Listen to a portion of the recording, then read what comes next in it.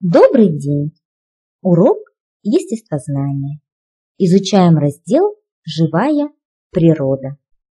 Тема нашего урока – «Как мы улыбаемся». Цель урока – узнать, как мы улыбаемся, что такое мышцы и как они работают. Научиться проводить наблюдения по плану. Отгадайте ребус Слово, которое спрятано, является ключевым словом урока.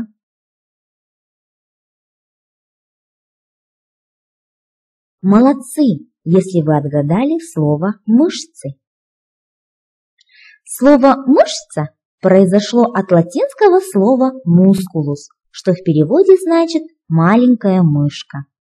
Когда древние ученые наблюдали за движением своих мышц, им казалось, что под кожей бегают мыши. Мышцы отличаются друг от друга размером, формой, массой и силой. Мышцы помогают нам видеть, дышать, говорить, двигаться, бегать, прыгать. Любое твое движение – это работа мышц, которые находятся в теле. Мышцы прикрепляются к скелету и заставляют его двигаться по команде мозга. Без мышц все кости были бы неподвижны. Скелет и мышцы составляют опорно-двигательную систему. Мы подпрыгиваем, переворачиваемся, размахиваем руками, крутим головой, шевелим пальцами, щуримся и поем. Все это работа мышц. Какая же наука изучает тело человека, изучает мышцы? Соотнесите термины с определением. Внимательно прочитайте определение и узнайте.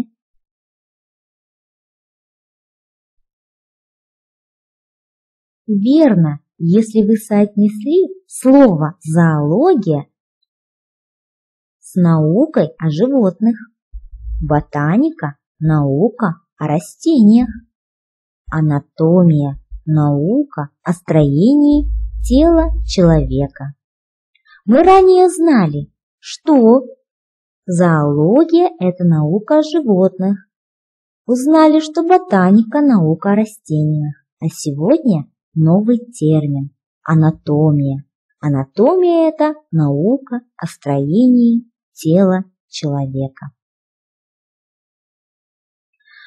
Мышцы располагаются по всему нашему телу.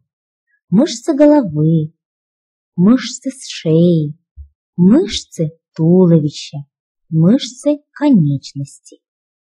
Мышц в организме человека 600.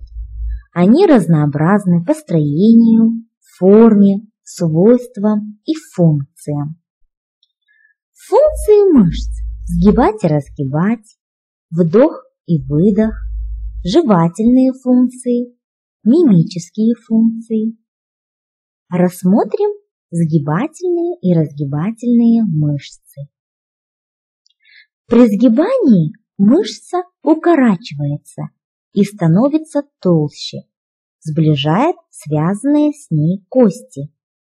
При разгибании с нижней стороны Мышца также укорачивается и становится толще. Проведите наблюдение по плану и узнайте, как работают мышцы сгибателей и мышцы разгибателей. Вот вам план. Встаньте. Первое. Опустите левую руку вниз. Расслабьте мышцы Второе. Кистью правой руки обхватите мышцы в области плеча. Третье. Напрягите левую руку в локте. Четвертое. Разогните руку. Если вы все сделали по плану, то вы должны были почувствовать мышцы сгибателей и мышцы разгибателей. Еще раз проведем наблюдение. Опусти левую руку вниз, расслабь мышцы. Кистью правой руки обхвати мышцы в области плеча. Напряги левую руку в локте. Разогни руку.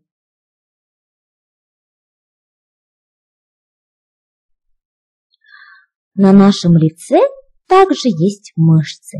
Их называют мимическими. Мимические мышцы прикреплены к коже лица. Они нужны для выражений, эмоций и для речи. Когда ты улыбаешься, работают 17 мышц, а когда смеешься, работает на 15 мышц больше. Добавляются мышцы живота и горла. Когда ты хмуришь брови, напрягаются 43 мышцы. Лицо, глаза и шея – это мышечный рекорд. А знаете ли вы, какой орган в вашем теле самый мускулистый? Оказывается, это язык. Он состоит из 14 мышц.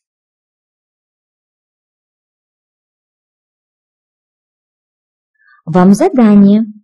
Расшифруйте слова, и вы узнаете, какие продукты помогут укрепить ваши мышцы.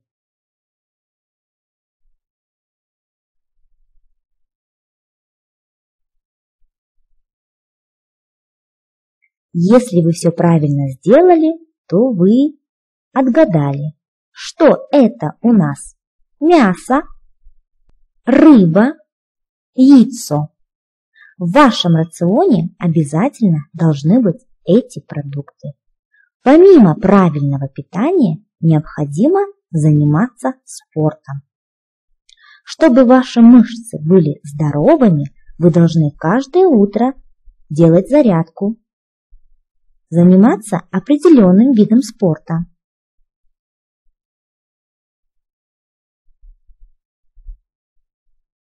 Вам предлагается самостоятельная работа. Узнайте, как работают мышцы ног. Составьте план наблюдения, сделайте вывод. Сегодня на уроке мы с вами познакомились, что же такое мышцы, узнали науку анатомию, научились проводить наблюдения по плану. Также узнали функции мышц. Если тебе на уроке было трудно, ты ничего не понял, то покажи жест правой рукой. А если надо повторить еще раз, покажи жест левой рукой. Если на уроке тебе было все понятно, покажи, какой же ты сильный. На этом наш урок подошел к концу. Всем отличного настроения и крепкого здоровья!